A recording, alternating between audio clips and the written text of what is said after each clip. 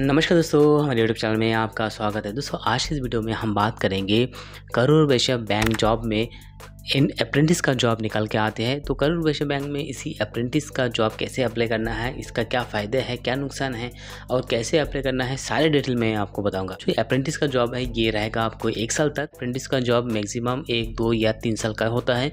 तो अगर आप इसमें इंटरेस्टेड होंगे तो वीडियो को जो है पूरा देखिए। ऑनलाइन कैसे अप्लाई करना है, वो मैं आपको यहाँ पे बता ले दिया। हमारे चैनल को सब्सक्राइब नहीं किया तो सब्सक्राइब कर लीजिएगा। साथ साथ बेलेकन भी प्रेस कीजिए, ताकि आगे आने वाले जितने भी बैंकिंग जॉब संबंधित जानकारी हो, सबसे पहले आप तक मिले। तो अभी हम आ चुके हैं ऑफिशियल वेबसाइट पर। यहाँ पे जगह सारे जॉब नोटिफिकेशन मैं आपको बता दूँगा। जॉब की डिटेल देखने के लिए आप हमारे website job Dekho dot me पर भी आ सकते हो। आप गूगल में सर्च कीजिएगा W W W dot job Dekho dot me open करने के बाद कुछ ऐसे ओपन हो जाएगा। जैसे आप इसको ऊपर क्लिक कर देंगे तो आप हमारे वेबसाइट ओपन हो जाएगा। यहाँ से सारे डिटेल आप चेकआउट कर सकते हैं। ओपन करने के बाद जैसे ही आपको ये नोटिफिकेशन आएगा, इसको आप एलो कर दीजिए ताकि आने वाले जितने भी बैंकिंग जॉब संबंधित जो भी हो, आपको इंस्टेंट नोटिफिकेशन आपको यहाँ से मिलते रहे। दोस्तों ये जो जॉब है, मैं आपको यहाँ पे बैंकिंग सेक्शन में ऐड कर दूँगा। जहाँ पर थोड़ा नीचे आएँगे तो आपको यहाँ पे बैंक जॉब दिखाई देगा। इसके नीचे ये जो जॉब है, ये आपको ऐड कर दूँगा। यहाँ से जाकर चेकआउट कर सकते हो। जैसे आप ओपन करेंगे तो आपके सामने ये पेज ओपन हो जाएगा। यहाँ पर मैं आपको बताता हूँ कि इसका एलिजिबिलिटी क्राइटेरिया क्या है। तो के वी के यानी कि करोड़ वैश्य बैंक में जो अप्रेंटिस का जॉब निकल के आते हैं दोस्तों, उसमें आपका जो क्वालिफिकेशन है, वो आपको ग्रेजुएशन चाहिए।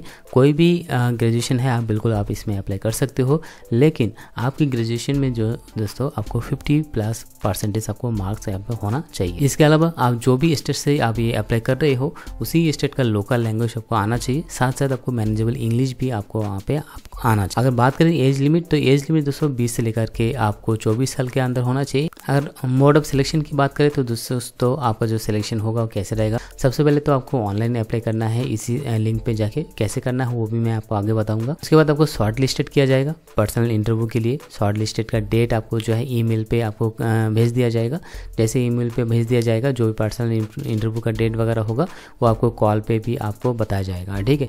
इसमें मेन बात यह रहेगा कि दोस्तों, इसमें जॉब क्या करना होगा? तो देखिए अप्रेंटिस का जॉब है, दोस्तों, हो सकता है कि वो जो जॉब है ऑफ़िस बैठे ही कर सकते हैं, या नहीं तो आपको मार्केटिंग यानी कि बाहर का जॉब भी आपको दे सकते हैं, दोनों में से लेकिन बाहर में जाके आपको घूम घूम के जॉब आपको करने की कोई भी ज़रूरत नहीं है। आपको एक ब्रांचेस है वो ब्रांच जो है आपको अलॉटमेंट किया जाता है। ब्रांच मीन्स आपको करोड़ वैश्य बैंक भी हो सकता है, नहीं तो ऑटो लोन होंगे तो आपको कोई भी कार गैरेज होंगे, वहाँ पे आपको दे सकते हैं। जो भी बड़े बड़े कार शोरूम वगैरह होते हैं वहाँ पे, या नहीं तो आपको फाइनेंस के लिए आपको मुथुट फाइनेंस या नहीं तो सुंदरम फाइनेंस ऐसे कुछ तरह के फाइनेंस डिपार्टमेंट होते हैं जिसके साथ करोड़ वैश्य बैंक का टाइप है, उनके साथ आपको अलॉटमेंट किया जा सकता है, ठीक है? तो वहाँ पे जाके काम करना होगा। काम क्या करना होगा? या तो आपको सेल्स एंड फाइनेंस करना होगा इंश्योरेंस करना होगा, या बैंक का जो प्रोडक्ट है, उस प्रोडक्ट को आपको जो है कस्टमर को बताना होगा, ठीक है?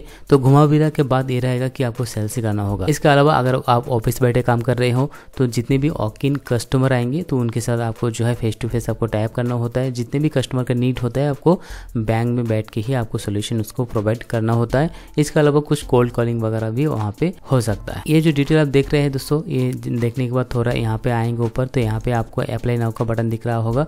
जस्ट इसको ऊपर आप यहाँ पे क्लिक कर दीजिए। आपके सामने ये नोटिफिकेशन आ जाएगा। यहाँ पे आप एग्जिस्टिंग यूज़र है तो यूज़र आईडी पासवर्ड लगा सकते हो। अगर ऐप नहीं है तो फॉरगेट क्लिक कर सकते हो।